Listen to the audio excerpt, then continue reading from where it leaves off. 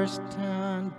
how a God so divine could lower himself to a life such as mine and consider me worth every minute of time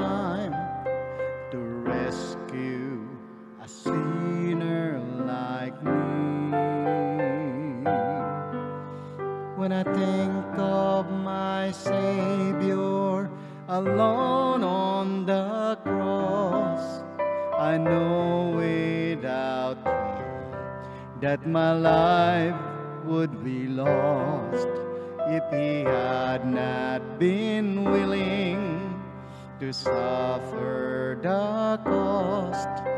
to rescue